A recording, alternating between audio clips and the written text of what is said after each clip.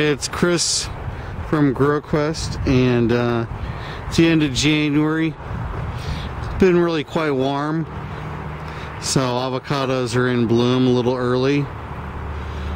And right now, this is a, a quick uh, look at uh, some Hass that's in in stock, ready to go.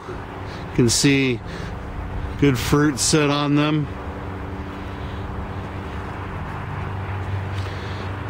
These Hass are about you know, 12 feet tall.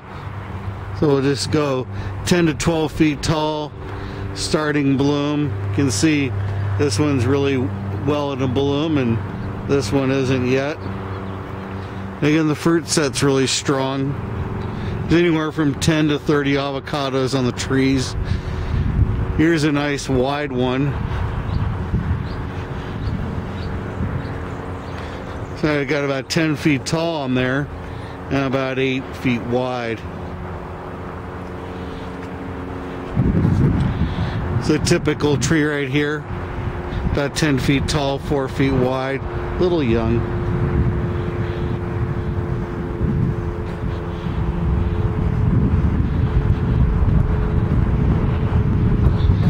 Here's a really nice reed coming in about 12 feet tall. There's no fruit on the reed. They are going into bloom, so there'll be fruit uh, next winter. Be fruit in January 2015.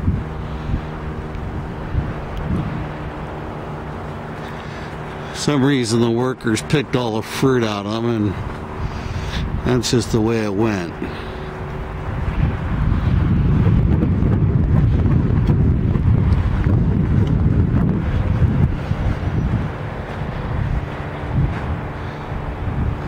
Another Hass.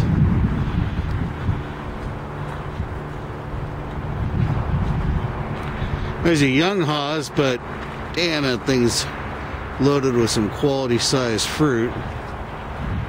It's kind of, you know, whatever you like. You know, maybe you want to uh, have a lot of fruit on delivery. This one's probably got about 20 big avocados on it. But the tree may not be the hugest tree.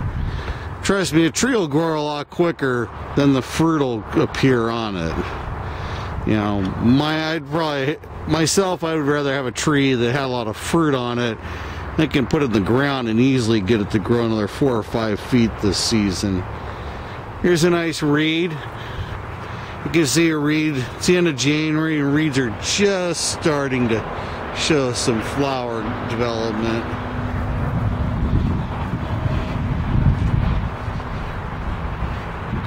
More Hass. So that's our inventory right now of some uh, Hass and some reed. Trees are absolutely awesome. Any questions, just give a shout out and I'll take care of you.